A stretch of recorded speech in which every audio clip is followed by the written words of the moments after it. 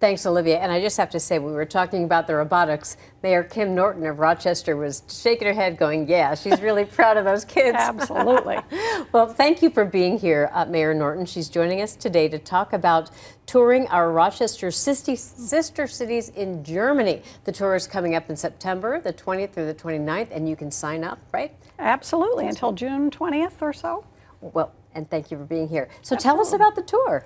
Yes, well, we sort of set aside our sister city relationships during the pandemic. Right. So as things have slowed down, we decided it was time to, you know, up our game a little bit, make contact with all of our cities. We have five formal sister cities and an informal one.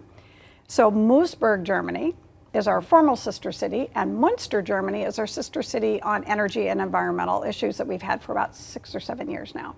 So we put together a 10 day trip and we hope we can get a, a, group of Rochester residents to, to join me and my husband as we go over and celebrate because we're going to be there for the end of Fall Festival and the beginning of Oktoberfest. Oh, what the perfect time to be in Germany, in, in Bavaria, in Bavaria region. So yeah. before we get into what, what you're going to do on the tour, tell mm -hmm. us about what, how, do you, how does a city become a sister city? What's that about? Yeah, our sister cities have uh, been in existence for 40 to 50 years. Uh, Mayor Hazama really put a lot of time uh, getting sister city relationships built. So those cities um, are in five different countries China, Japan, South Korea, Nepal, and wow. Germany.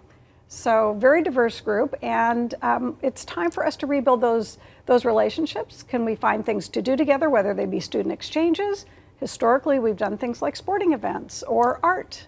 Um, so, we're going to look into doing some or all of those. Oh, I love that. So back in the day when I was at KTTC for the first round, when I was anchoring the 6 and 10 news, I got to go to Moosburg to interview some of those students. It's a wonderful town. It was so fun to connect with the people there. And the exchange of ideas and just learning about each other's places is just so fun.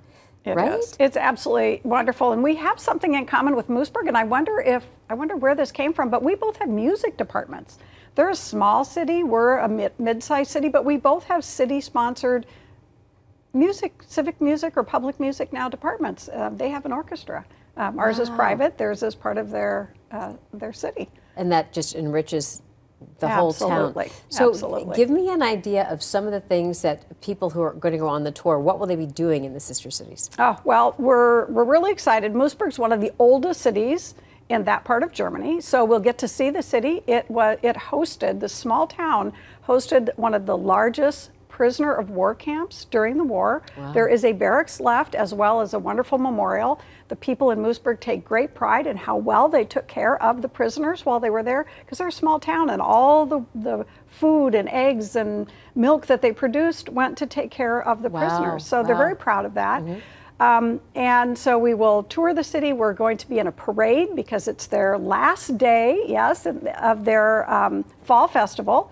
Very cool.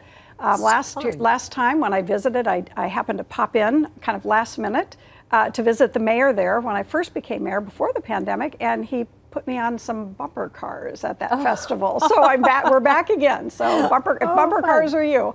Um, and then we're going to stop at a walled city, uh, Rothenburg. On the way, we will then go. Um, I think it's to Rudolph and uh, Rudenschein, and then and we'll have a, a, cruise on the Rhine for dinner. Um, it, sounds. They're walled cities. They're beautiful, and end up in Munster, which is like the bike capital of Germany, and just a super delightful place. I, I kind of wonder why more people don't see Munster. It's gorgeous. It is gorgeous, and I am so thrilled about this this cruise. Everybody, uh, the cruise, this trip. True. I don't know what cruise on the brain. I guess I want to go, but enjoy uh, look looking at this and seeing if it's something you'd like to do because uh, Mayor Norton would love you to go with them, and it's a great experience. Thank you so much for being here Absolutely. today. Absolutely. Thank you. Yes, you're welcome.